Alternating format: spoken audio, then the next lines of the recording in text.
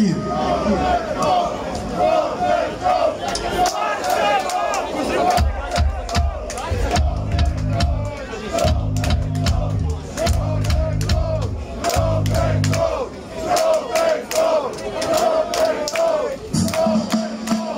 next song is also from 1987, from the Misanthropy album.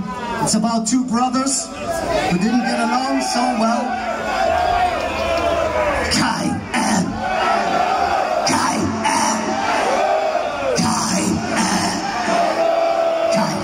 and